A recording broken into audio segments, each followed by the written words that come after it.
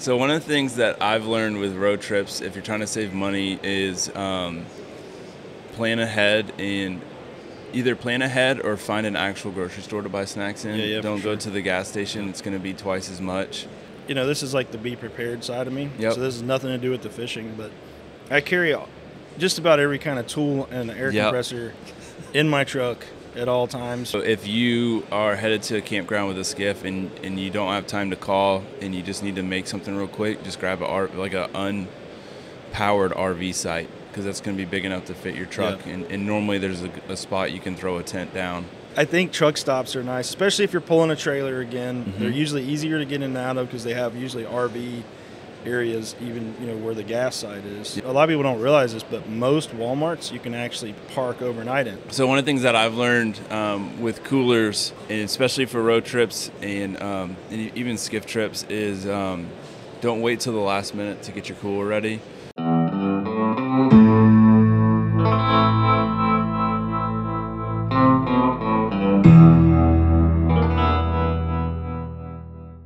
All right, guys, welcome to another edition of the Skiff Wanderer podcast. Today I'm do- joined by Jameson Redding from the Road Trip Angler. That's right.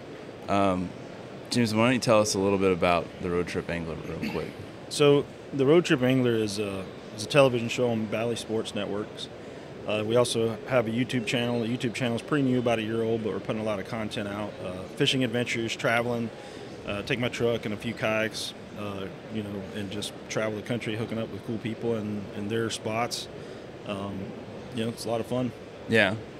Um, how long have you guys been doing? it? Two years, you said, right? Yeah, this is second season. So uh, actually, uh, we're here at ICAST. And Right. Yesterday, or no, Sunday before ICAST here, uh, was the premiere of the second season. So we just finished up filming it. They're delivering it to the TV uh, or to the network now, and then we're going to start filming season three in August. So Awesome. rolling right into it. So, Road Trip Angler. I'm assuming that you guys are road tripping. We, we don't fish. We just you just road trip. just- yeah. Yeah. What's kind of the basis of the show? Uh, so for over the last like decade or so, I've been working in the fishing industry, uh, mostly in kayak fishing. Um, but what I've been doing is is traveling uh, all these places, collecting media and content for uh, kayak brand Jackson Kayak, and other brands that I've you know kind of met people and you know developed partnerships and relationships with over the years. So I'm, I'm going all these places, and people are always inviting you to go fishing, right? And you're you're getting you never really get to uh, figure out the fishing spots, but luckily you go with somebody that's already done that. So you know you got a couple of days, you hit the water, and it's just always really cool to me to, to meet the people um, that we fish with, but also you know fish different fisheries. So we pitched that idea um, as a show, um, and so it's just me in the truck and you know going to these different locations and just you know kind of hopscotching or whatever across the country and Yeah. you know, hanging out with different people and just uh, trying to tell their stories and share their uh, cool, unique areas and their fisheries and stuff. And you guys, I mean, you're catching everything. You're oh yeah, not- it's. Uh, I think this year we've done just about every species of bass you can catch. We've done redfish. Um, we've caught. We did snook. Uh, tried to catch some tarpon, didn't happen. Um, and then we went to the Pacific. Yeah, right. then we went to the Pacific Northwest and did some like rockfish and ling cod. Tried to catch halibut, didn't happen. But you know, All right, so I've only got you for a few minutes this morning, so we're gonna jump into. Um, if you guys, you guys that have followed me for a while, you know that I spend a lot of time on the road, going to different fisheries. Um, so we're gonna break down some road trip tips. I like it. I'm gonna let you kick it off. No, so road trip. Well, snacks. You gotta have, you know, you gotta have good snacks. Yeah. No, I would say, especially when you were talking about road tripping somewhere to fish. You know, I think people sometimes are intimidated to ask other people for spots or or whatever, and uh, sometimes people don't want to share them. But a lot of times people will. And uh, so I would say my first tip would be don't be afraid to utilize social media or forums like, you know, Microskiff is one that comes to mind, but um, any of those forums or social media, if you have a, a- following and you've got people that are you know following what you're already doing, or if you know someone that you know lives in that area or through social media you've connected with them, don't be afraid to reach out because uh, that's where I start usually. Is hey, I'm coming to this area, love to to fish somewhere. Not looking for your honey hole like drop pin location, but you know any advice would help, and, and a lot of times people will give it to you. Yeah, no, that's I, I tell I tell people um, I said along the same lines. If uh, if there's a fly shop, tackle shop, go in there. You know, you're gonna need your. No one ever remembers all their tackles, so you're Right. gonna be picking some stuff up, and then ask the guys behind the counter, pick their brains a little bit. Yep. Um, see what information they're willing to give you. A lot of those guys are fishing, you know, two three days a week, so they have a, a good insight of what's going on in the fishery at that time. Yeah, and most people are, are really willing to share their, um, you know, some some ideas with you. So Mhm. I mean, then you can start to formulate the plan and get out Yeah, we always like as fishermen, we always think that you know all of our spots are top secret. We're not going to give out any information until you start getting us talking about fishing, and then it's Yeah. like, let me tell you everything. Yeah, look at this spot. all right, what you got next? Oh man, you're rolling right into it. Yeah. Uh, so I, another thing, and I'm sure you do this as well. I mean, I, I tow a skiff on some of the trips. I tow kayaks. I always have a trailer uh, behind it, but even when I don't, I carry. You know, this is like the be prepared side of me. Yep. So this has nothing to do with the fishing, but I carry just about every kind of tool and air Yep. compressor in my truck at all times. Patch kit for the tires. You know, Yep. obviously a spare. Um, and I in several times. I actually broke a leaf pack on my trailer uh, this year on my skiff trailer, and so it was down on the side of the road, and uh, and I ended up finding a new leaf pack. I went ahead and got the stuff to repack the bearings, and I got you know two leaf packs, and I just dropped the axle from under the trailer on the side of the road, and was able to completely repair everything because I had a, a toolkit with me, and you know it saved me a lot of money. It probably saved me some time. I didn't have to get it towed anywhere and all that. So, yeah, I would I would say just be prepared. Like have have some basic tools and Oh, things yeah. to you know patch a tire and change a tire. And I'm not saying you should have to do axle work every time, but when you spend as many, I think I put hundred thousand miles on the truck the last two years. So when you spend that much time on the road, stuff's gonna happen. Like, No, and and uh, so like like I used to do a bunch of off roading and like when, when we were like o- overland kind of stuff. Yeah, yeah. And when we when we would go on those trips, we would bring uh, extra oil. Like every fluid, we'd have extra fluids with us. We'd have extra belts. We'd have extra um, filters, and like we had a buddy of mine throw a um, throw. Oh my goodness, I can't remember what it's called right It's now. First morning of ICAST. This is this is how it normally goes. What's the band called on the motor? Oh, I don't know. The band. Oh, oh, got it. Oh, got it. All right. Yeah, so uh, we were, um, I was, we were on a trail. I was on a trail with a buddy, and he threw a belt, and we had a spare one with us, and we were able to get him off the off the uh, trail that way. Um, but same thing. Like if you're towing a skiff with you, make sure you got you know spare oil filters, that kind of stuff. Um, if you're up on your maintenance, you shouldn't need it. But the last thing you want to do is be three hours from the closest town that might have, you know, the right oil, Yeah. and realize that you, you know, you sprang a leak or you don't have enough or you need to top something off. So, um, yeah, tools, tools to fix everything: Yeah. truck, boats, trailers. It's uh, it can be a process, but it can be the difference in you having a really good trip, and you get to where you're going. Like you said, even with the boat, um, you know, extra fuses and stuff like Yep. that. Because I can't tell you how many times on one of my skiffs I had the uh, tilt and trim was a separate plate because it was a 20 horsepower on the back of a little 14 foot skiff, and I was always blowing the relays on that thing. And so you get out there and you couldn't trim or, or lower the motor um, without having those relays. And so you know, having extra parts and pieces is is always key. All right. Um, when you when you're road tripping, um, do you camp? Do you do you stay in hotels? I, I camp some for sure. I do a little bit of everything. Uh, Yeah. I, I do try to avoid hotels. It's it's not easy uh, to do. Um, Yeah. I, I use Airbnb a lot. So if it's only one night, things like Airbnb don't usually make sense because of the cleaning fee and the Yeah. service fees.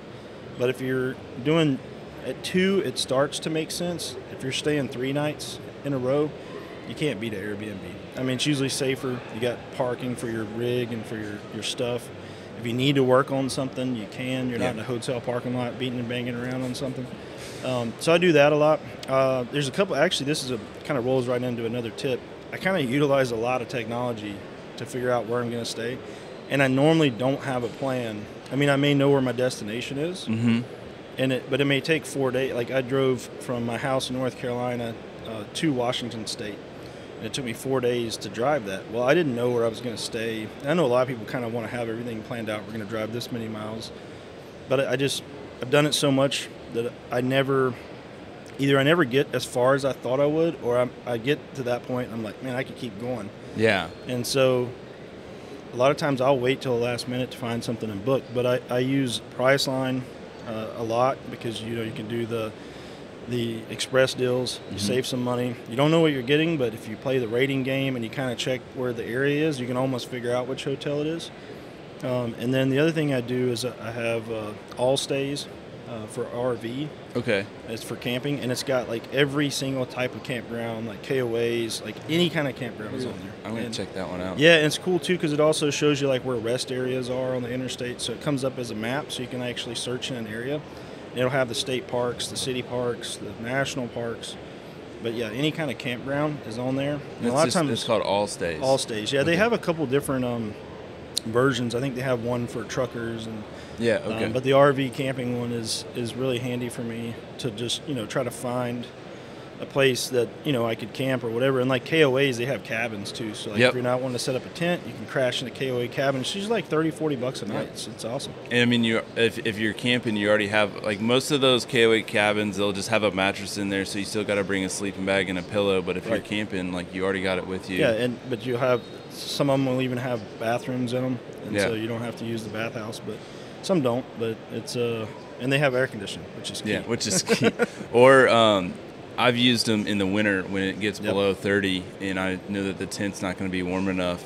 Um, those cabins can they they'll have a little bit of heat. Some of them will have heat and um, keep you warm. And then um, one of the things that I'll add is if you are road tripping with a skiff and you're going to camp, call the campground to see what the um, what the layout is for skiff parking. yeah. Um, I've I've had uh, I did a video down in South Texas. It's called South Texas, and we didn't do that. How did you come up with that name?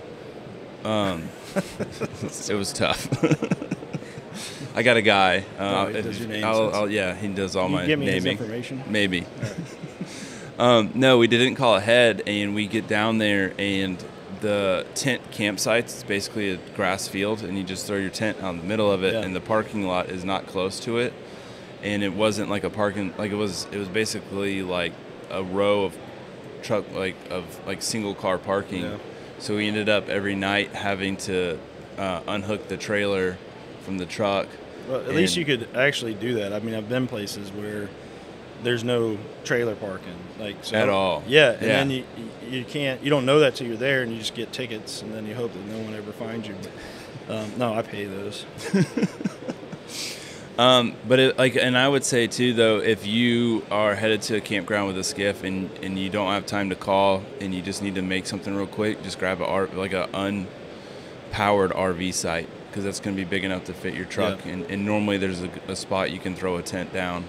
Well, the cool thing about an RV site too, if you a lot of them will have if you get one with power, they'll also have water. So if you're saltwater fishing and you want to rinse all your gear down, you got access Yep. to water, and then you can recharge your trolling motor batteries and stuff like that. So I, we do that a lot. I'll get an RV site um, and still camp. It's you know a little bit more money, but having power and having water um, on the site is, is really key and nice. Yeah.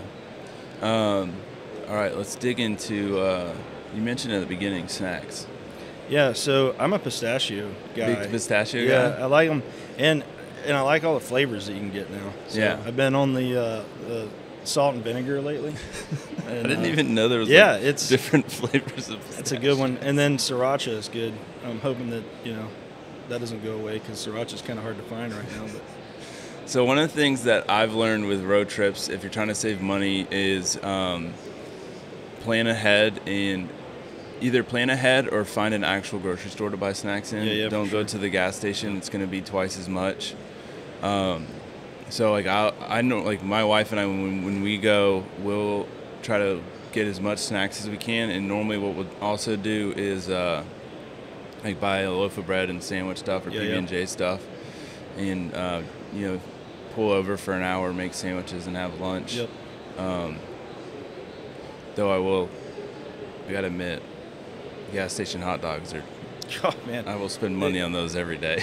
it gets me every time uh, when I stop at like. And I, so that's another. You're talking about places to stop. If you're going to do gas stations, yeah, I love truck stops. absolutely. Like going into like a pilot, or you know, if you're lucky and you get a Buc-ee's, but that's a whole nother thing. Like they're they're rare, right? But um, They're- not probably not for you because you're yeah, in Texas. Yeah, they're well. they're the starting to get closer and closer to where I live. The we don't have- closest Buc-ee's to me is two hours away. Wow. yeah. So But there's sign. There's probably a sign by you Oh, that says goodness. Buc-ee's is two hours away. It's like- but anyway, I think truck stops are nice, especially if you're pulling a trailer again. Mm-hmm. They're usually easier to get in and out of because they have usually RV areas, even you know where the gas side is. Yep. They have uh, spots for big RVs to get in and out of. They have propane, a lot of them. Uh, so if you're an RV person and you need to refill, but also if you've got you're camping and you got to refill some propane tanks, a lot of them will have propane at those. So I like stopping there. They have.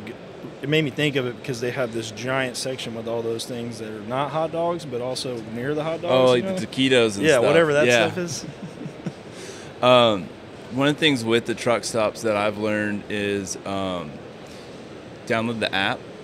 So a lot of them have apps. My favorite, my personal favorite, is Love's, because when you use the Love's app, you you can actually get ten cents off of every gallon. And this podcast is brought to you by. there, yeah. yeah, Love's. If you want to start uh, sponsoring my my driving all over the country, It's a road trip. Like, and then a lot of them too. I mean, obviously, like Google Maps and, and Apple Maps, you can use to like figure out where different truck stops are. Yeah. Also, that app we were to go back to the app we were talking Yeah. about, Allstays, which doesn't sponsor me either. But I can only keep talking about it. But it is super handy because Yeah. it has all the truck stops on it as well. Oh, that is okay. So and then it has things like Tractor Supply, Walmart. Uh, people don't. A lot of people don't realize this, but most WalMarts you can actually park overnight in. So if you're just Right. trying to crack, you know, I'm not saying it's the safest place every time, um, but on that app, what's cool is you can actually click on, you know, whatever it is, a campground, Walmart, even a rest area, and people will have reviewed it in the app. So you can actually like read, stayed here, asked the manager, was told to park over by the garden center, you know, pretty safe night, wanna- quiet. You know what I mean? So you can get a feel like one's like gunshots, and you're like, "Ah, I don't want to stay at that one. But but for real, like you can use stuff like technology to figure that stuff out um, and uh, and find places. And the nice thing there too, if you're if you are like towing a camper or you have a way to camp in your vehicle, um, you can go in and get your groceries, and then Yep. you come back out and just park there because Yeah. you can overnight park there. But how do you handle how do you handle groceries on road trip? So I carry. I've got a big uh, 65 quart uh, cooler. It's, Mm-hmm. a, it's an Orion cooler, um, and it's you know it's heavy duty. And I will kind of pack it in sections. It has dividers in it, Okay. And so a lot of times I'll put you know, the really cold ice packs that are like you can keep stuff frozen beside of. like, Yeah. literally. Um, so I'll put like frozen meats and stuff that I'm going to be cooking Mm-hmm. on that side, and then I just kind of stagger it out to. It's loud here, the ICAST Yeah. but I'll stagger it out and I'll kind of have my like you know like you mentioned bread or stuff that doesn't need to be on ice but near ice you know Mhm. it'll be on one side and then in the middle um, will just be my colder stuff like that needs to stay colder like eggs or whatever So one of the things that I've learned um, with coolers, and especially for road trips and, um, and even skiff trips, is um, don't wait till the last minute to get your cooler ready. Yeah. So what I'll do is if I'm going to leave on a Friday, um, Wednesday night, Thursday morning, I will take ice packs and start putting them in the cooler. I'll make sure I have all my groceries. All my groceries, if it's frozen, it goes in the freezer. If it's if it needs to be refrigerated, it goes in the refrigerator. Um, and basically, I'll sit there with the cooler and just keep switching out ice packs, trying to get that the temperature inside nice and cool. yeah people So- don't realize that i don't Yeah. think because you know it's it's insulated Right. but it's going to retain heat just as well as it does Oh, yeah. cold so you got to acclimate it like you're Yeah. saying it's so important and then you can get like tons more days and, it, and especially like if you're spending money on like like a Yeti or an Orion or like some other like one of these like heavy duty coolers that's designed to hold ice for seven Yeah. days, like part of that is getting it to the right chilled, temperature yeah. to start. Yeah, and not putting hot like people dump hot drinks in it yeah. And like, well, I don't understand why my ice melted. well, because drinks were 75 degrees when you put them in there. all right, so now we're gonna have a lesson on thermodynamics. it's like, but it's true though. Like people buy these expensive coolers, and I hear it all the time. Like it doesn't hold ice. I'm like, did you pre-chill it? So if you have like a, a way, like I actually have a walk-in cooler for for deer hunting, and Yeah. and uh, me and Oh. my buddies built it, which is awesome. But we'll just we'll throw the uh, coolers in there overnight, and then they're ready to go. Ready to go.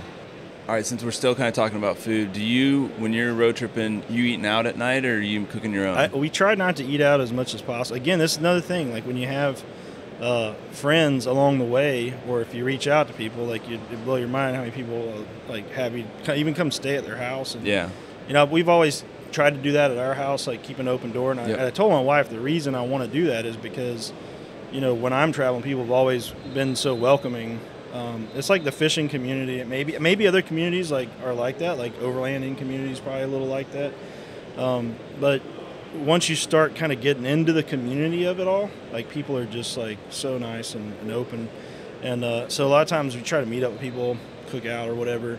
Um, I will, you know, if I have to, I'll, I'll stop and get food on the on the way or whatever and eat out. But you know, you spend so much money doing that. Yeah. So uh, when I can, I cook. I carry just a small cooking set in Yep. my truck and pull it out. I've got a couple of burners. Um, I actually have a, de- a deck drawer system.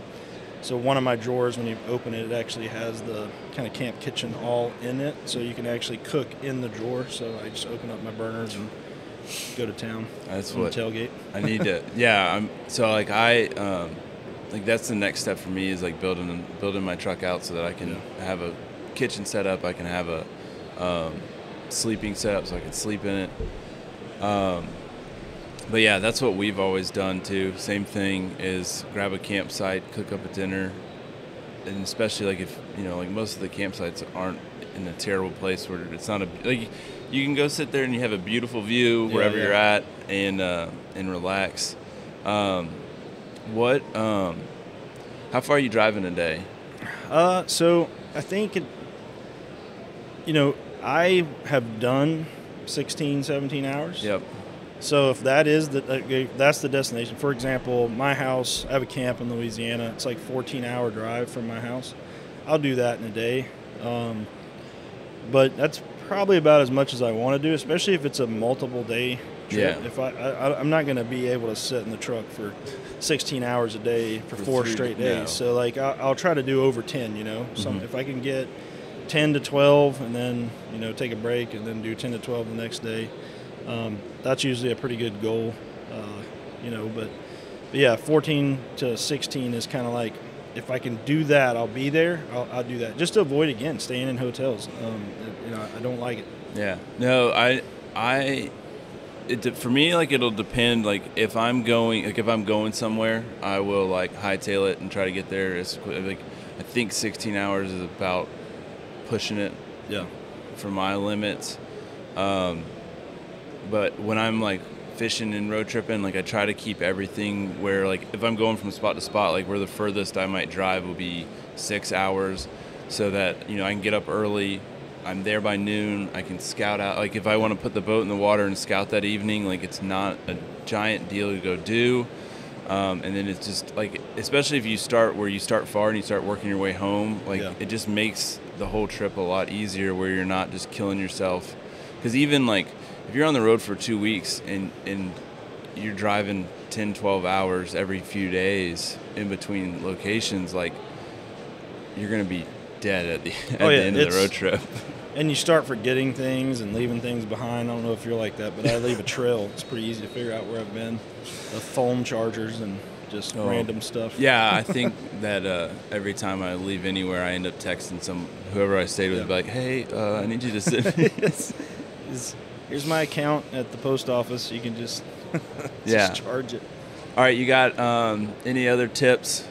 Well, I was going to ask you actually. So when you when you go to, you know, you're traveling to fish. A lot of times we're going to places we've never been before. And I mentioned, don't be afraid to reach out to the locals. But let's say they share some information with you, but they're not coming out on the water with you.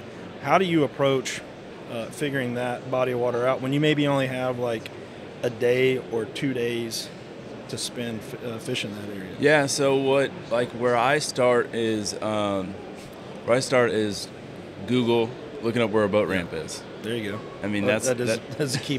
that's going to be a key part of getting on the water. Uh, and then I'll go from there, and um, I use onX, and then I'll use Google Maps and Apple Maps. They all have like different stages Yeah, of yeah. satellite images, and so I'll start pouring through satellite images, um, and using that to kind of determine because like a lot of what I do is sight cast, fly fishing. Um, so I'm using that just to try to figure out where shallow, where I think the water is going to be shallow enough, um, and then I'll start looking at tide data for the area. And Do you have an um, app for that too, or no, I, I every time I get a good either weather app or, or tide app, and I get like where I really love it, and I'm like, this is the app. We're gonna go places. We're gonna be together forever. they like turn around and they're like, hey, would you like to pay us? we need three dollars a month. and I'm like, but we were getting along so well. Like, that's not how this relationship's gonna work anymore. Yeah, I do hate that, and I will say that I because of that I have like just so many apps. Yeah. You know, because it's like like you, I, I use Gaia sometimes when because like you can download maps when you don't have your uh, Google Maps or whatever. You can down, you always have GPS with the phone, right? People Mm-hmm. Right. forget that, but if you have onX or Gaia or something, you can download maps for the areas you're going. Uh, where you might not have a service, and you can still actually see where you're at on the map because Yeah. you have GPS. yeah, because I don't I don't run a G- I don't run an actual unit on my boat. I just use my phone. Sorry, getting texts from people. Oh, Um, and so that, and then the other one, the other app I use is Windy. I think Wind yeah. is like Windy does a such big one. fantastic job. you can see the direction, you know, on the map that the wind's blowing, so you can get out of it, or you know, sometimes you like to fish a wind blowing bank. And just one more, real quick, that I am not sponsored by, but Navionics app. Um, I don't know if you have that one. No, It's it is pricey. It is Yeah. one you have to pay for. Um, you can I think do it annually. But what I like about it is you also have some satellite imaging. It's not as good as Google Maps necessarily, but all the tide buoys are on the map. So when you know kind of this is the area I'm going to fish, Yeah. you can literally find the closest tide buoy and Oh. click it and get like live tide data from that tide buoy. And so that's been really key because a lot of times you're like, oh, what's the tide? You don't realize that the one you're checking or the one that you got the tide for Yeah. is like really two hours off of what the tide is where you're at. Oh yeah. Yep. And so uh, that's been helpful. Yeah. Um, yeah. So like like what I'll do is I'll take take all that information, get on the water, and honestly, it's almost like speed fishing. Um, and it's one of those like if you're new to I think it's one of those like if you're new to fishing like you're it's part of the learning curve that you're gonna have to get over. But like once you've been fishing for a while, like I'm sure you can do it. Like I can roll up to a spot, fish it for 15 minutes, and be like, "This isn't it." Yeah. And And you don't even really know why. You just know, like, yeah, I didn't somewhere. see anything. and um, so like that's like when I'm when I, when I am road tripping, I will not commit as hard to Yeah. different locations that I've picked out that I want to try. Um, now, like if I go and fish a bank and it's an incoming tide and I don't see anything, and then four hours later now we've got an outgoing tide, like okay, I might go check it out again and see Yeah, if, yeah. if the tide change helped it at all. I mean, unless I found fish somewhere. Now, like, and I've had it happen every now and then. It happens um, where you roll up to your first spot and the fish are all there and everything's going, and you're like, oh, and you end up spending like a day or two in one spot. yeah, yeah. No, I've done that. I think Even even and when that happens too, then you like will commit to that spot even if they're not there the next day, right? Right. You're like, but Yeah. they were here, and everything's the same. So they should still be here. yeah, they should still be here. Yeah. All right. Um, I know we, we're gonna wrap it up. I know you got some meetings. Yeah, I do. But uh, at we got five more minutes or so. You got any last tips? Uh, you know, I, again, I think just don't be afraid. I think that's the big thing. It's intimidating, and it used to be for me, but I've been doing this now for like 10 years as far as the traveling goes. And so I've kind of lost a lot of that intimidation and realized like how easy it can be. And Mhm. I think, you know, it's easy to go like I need to get to this this one place and you just go back there every time because you're used to it. And Yeah. it's sometimes hard to say I want to try somewhere new.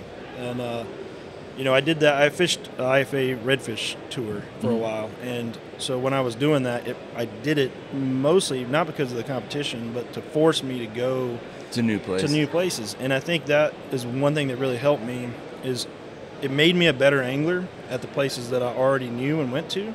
because I would learn things about, especially like redfish. I know you chase those a lot. It's one of my favorite species to chase. Same thing with like smallmouth bass for me. I love smallmouth bass, but fishing for them in different areas, I learned so much about the, the species Mm-hmm. and the fish itself so that you know I can apply those things when I'm having a tough time or whatever on water that I'm actually really familiar with. Yeah. Um, so, and it's always an adventure. Like you just, you know, you never know. Um, and I think it's funny. Like people, ask, like, can't believe you drove all the way to Louisiana to catch redfish, and you live in North Carolina. They have redfish there, and I'm like, yeah, but it's different. Like, it's just fun to see different places. Well, and I've and I've learned um, too, like going going to those different places, and even like like you were saying, like you like chasing smallies, like chasing redfish, like like mixing up the species. Like, Yeah, yeah. You know, like I chase I chase redfish every day, but like going out west and chasing cutthroat or going and chasing smallies, like at the end of the day, like they're still fish, Right. And they're going to utilize their ecosystem a little bit different.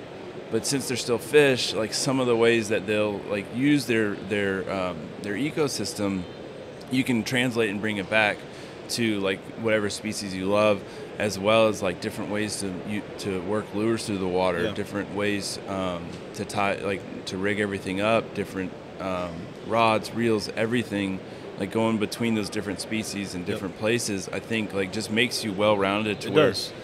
And and all- the other, the other thing I would say about traveling, and you may agree or disagree with this, uh, it used to always be about the fish, and it still is. Mhm. I'm not saying that it's not about fish, but I think over the years, I've realized that if I kind of remove some of those expectations that I put on myself, like I'm going here and I got to have this epic trip Yeah. because I just spent, you know, 10 hours in the car and I spent all this money on gas and drug the boat and maybe something happened in the trailer and I had to fix that. Like now I'm here and then you don't see fish or you can't find them or whatever. And it's like remove that part of it if you can and just like you're learning a new area, you're you're having a new experience and you're getting to see and usually you end up meeting some cool people. yeah, And uh, if you just kind of absorb all of that, and uh, then you realize it's the road trip. Well, maybe the driving part isn't that fun, but the actual trip itself is more than just the fishing. Right. And, and I think if you just kind of take that pressure off yourself, like I have to go catch this trophy fish or a certain fish, and I've had trips like that. I've, I've when I went to Panama, did not road trip to Panama, but not to? not not Panama in Florida, but Panama, Panama. Do And uh, we were rooster fishing. Yeah. And uh, but we were catching other stuff, and I was down there with some guys that had never traveled out of the country, right? So they had to get their passports to go. Um, and one guy had never been gone more than three days away from his house, like so he was completely out of his element, right? Um, 100% out of his element. Like he was freaking out because he had beef jerky, and it says, you know, did you Yeah. bring any food into the country? And he's like, I can't enter. I, I got food, and I'm like, it's freaking packaged beef jerky, man. Chill. you're gonna throw it away. Yeah, you're gonna. It's fine. And so anyway, I was down there with one goal to catch a nice rooster fish. I had mm-hmm. caught some, but they were small. I wanted a big one. The whole entire trip, everyone's catching rooster fish. I'm not catching, and I'm right in the middle of it. Right, I'm right with them. I'm doing everything the same. For whatever reason, I could not. This wasn't your trip. No, and I look over at him, and every single fish that he catches, whether it's like a tiny trigger fish or this giant rooster fish, he is ecstatic because every single fish was a new species for him. Yeah. And it was a new experience. The whole thing was a new experience. I had been there before, and so I, I forgot about that part of it. And I was so focused on that one fish that I'm like having terrible time for like the first day. And then I'm watch him and I realized like it just I don't know, it spoke to me. I saw him just having a like great time hollering every time he caught a small tiny fish. Yeah. He was just like, "This is the best trip ever," you know. And then I'm like, "I- "I'm in Panama, like with people that are so excited to be here all around me, and I'm ruining it because I put these stupid expectations. And then you know what happened after I kind of removed all that? I finally actually caught a rooster fish, but you know, it was like I was trying too hard. And so don't do that. That's Yeah. what I'm saying. no, I 100% agree with that. Um, I mean, if you think about it, like if you go on a week long fishing trip, say, you know, f- yeah, five days, like you might fish 12 hours, a, 8 to 12 hours a day. Like you're eating, you're traveling. Like there's so much more that goes on into a trip. And, and I've, I've honestly, like it's only been in the last probably six months that I've started having more of that mindset on my road trips of like, you know, just like, look where we are. Yeah, just send You're it. like, this is awesome. It, I mean, it, it really is a big difference, uh, and it's made a big difference in my just mentality. And honestly, I probably catch more fish yeah. uh, when I'm Just not. relaxed. Yeah, when I'm not trying to like put that that high level of expectation or pressure on myself, which is also why I stopped fishing tournaments because you know that was the the pressure part of it to do well at the tournament took the fun out of the traveling. Yeah. Um, so anyway, that's what that's what I got. Awesome. All right, guys, there you go. There's some tips for getting on the road. Um, check out the Road Trip Angler. Where's it at? So you One can you can watch Road Trip Angler on YouTube, and then uh, the television show airs on Bally Sports Networks nationwide. So whatever your local Bally Sports channel is, you can check for Road Trip Angler on the schedule. Like I said, we just started airing uh, the second season, so it's kind of splattered around all over their networks um, at different times. So And then what's your? You're on Instagram. yeah? Jam- Jameson Redding on Okay. Instagram, Jameson Redding Fishing on Facebook. So there you go. You got a big Facebook group. Nah, we. I, I got like four thousand friends on MySpace, but um, All right. I appreciate you taking the time this morning. Um, if you guys listening in, check check Jameson out. If you guys are watching on YouTube, hit like, hit subscribe. If you are listening on Spotify or Apple or any of those other podcast networks, leave a five star review. Say something nice or don't. Um, yeah, thanks for coming on, man. I appreciate it. I appreciate it too.